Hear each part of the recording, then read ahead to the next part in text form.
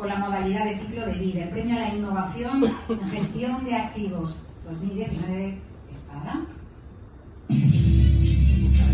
Le está gustando Luis Millo, Fonditel, por supuesto, y Eduardo Aguilar, presidente del comité editorial y consejero de Capital Radio, es el que entrega el premio. Y Fernanda Barrio, directora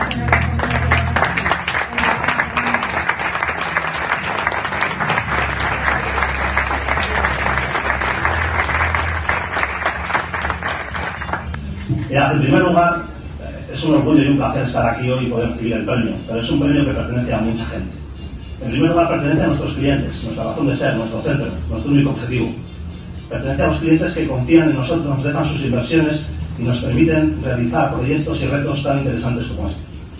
Pertenece, por supuesto, al Grupo Telefónica de la Fonitel, eh, que promueve dentro de sus equipos la proactividad, los retos, la innovación, que atrae talento y que permite el trabajo en equipo.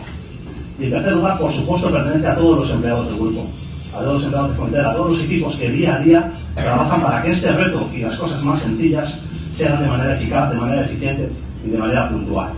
Quiero agradecer especialmente a todos los equipos, a riesgos, a operaciones, a middle office, a comercial, a legal.